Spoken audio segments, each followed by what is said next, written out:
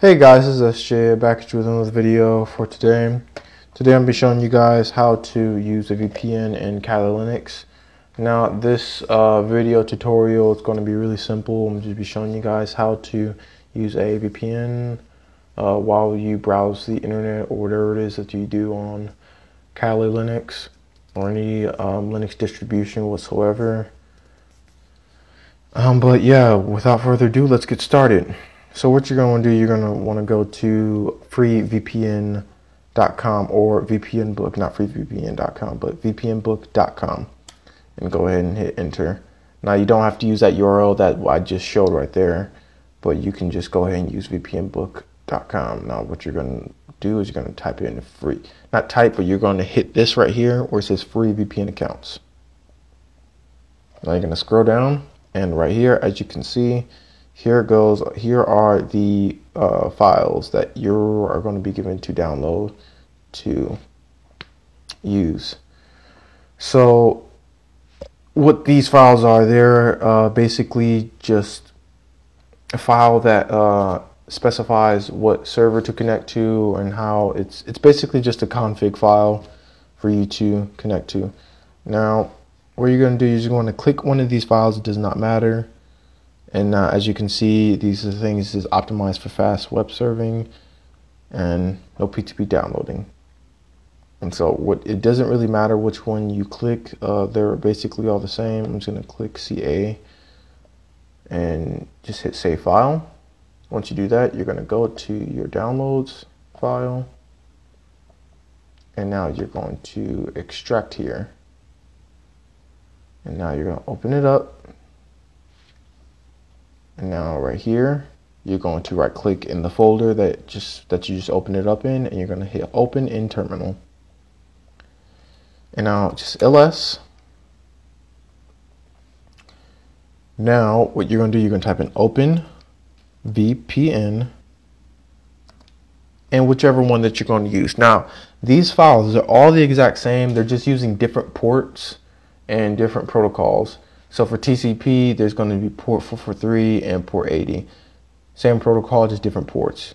Now UDP is going to be used 2500 and not 2500, but 25,000, port 25,000 and um, port 53. Same protocol. So what we're going to do, we're typing VPN book dash CA one TCP 80 dot OVPN.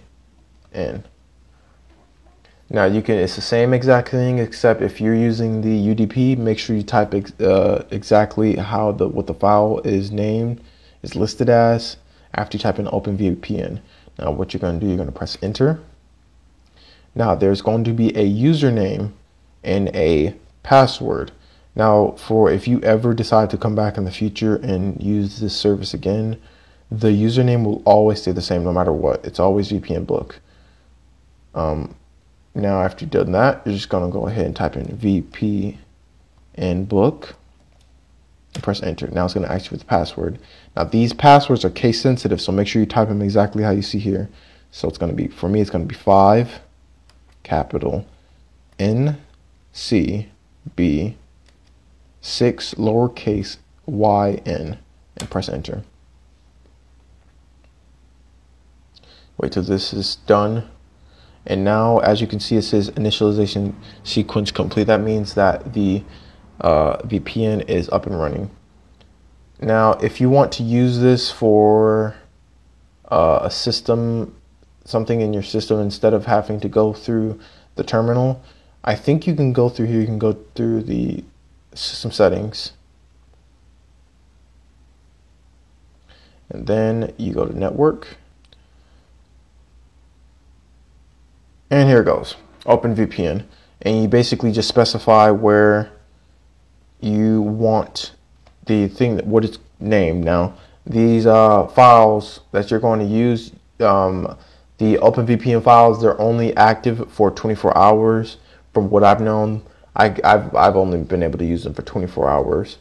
Um, but yeah, they're pretty much active for 24 hours. After that, you have to get a new one and just renew it. After you do that, you can just use it again. But for here, it's more of a more of a permanent VPN uh, option. So once you do that, you can go ahead and just just quit that. But yeah, but that's how it's all works now. And if you just want to be done with it, you go ahead and hit Control C, and that'll be that. And it'll just exit out of it, and you'll be done. Now, uh, if you guys ever think about using the service in the future, I really recommend that you use it. It's not a bad service. I like the um, the VPN itself, the uh, VPN book itself. It's quite fast and uh, compared to other services. And if you uh, want to, uh, just go ahead and just go to the website and make donations and everything. No, this is not a uh, an ad or anything that I'm telling you guys. This is my gen my genuine um, my concern for it. It's it's not a bad service. But with all that being said, uh, thank you guys for watching the videos. I I love you guys for watching them and coming here every single day and watching my videos. Thank you for all the support, all the comments, and the likes and everything. It really helps out the channel a lot. With that being said, I love you guys, and I'll see you guys in the next one. Peace.